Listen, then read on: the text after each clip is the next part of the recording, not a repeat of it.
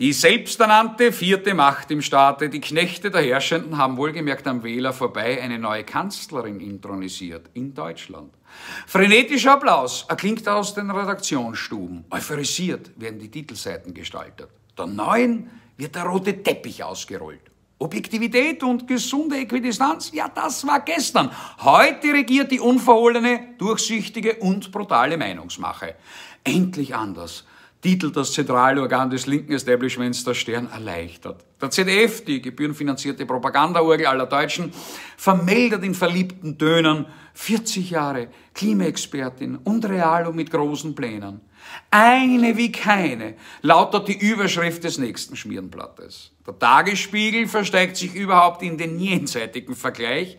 Ich zitiere, Annalena Baerbock hat mehr Ahnung als alle anderen. Die Schmierfinken, die gleichgeschalteten Politoffiziere in den Redaktionsstuben prophezeien der ihnen so ähnlichen Analphabetin ohne berufliche Erfahrung den Durchmarsch ins Kanzleramt. Wozu auch Wahlen? Wozu auch das Votum der Bürger einholen, wenn sich die wahren Eliten im Lande doch längst einig sind? In den Hinterzimmern wurde die Macht in Deutschland aufgeteilt. Eine Grüne muss her. Qualifikation egal. Hauptsache Grün und Hauptsache Frau. Sekundiert wird diese Inszenierung durch die Quacksalber der Meinungsforschung. Durch die Decke schoss Frau Baerbock 24 Stunden nach ihrer Nominierung als Spitzenkandidatin der Ökotheoristen. Unterstützt wird der Liebling aller Medien durch die Kaffeesudleser, die in ihren Umfragen ihre eigene Meinung kaum verbergen können. Aber nun zur neuen und zu ihren Qualifikationen.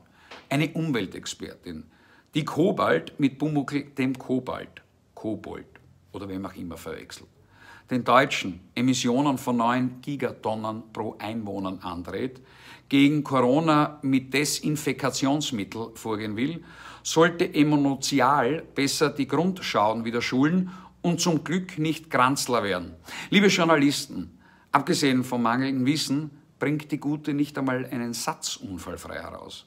Also wenn die Damen und Herren Redakteure wirklich einen Kanzler oder eine Kanzlerin ausrufen wollen, sollten sie zuerst eine Person suchen, deren intellektueller Radius den einer räudigen Suppenschüssel überschreitet.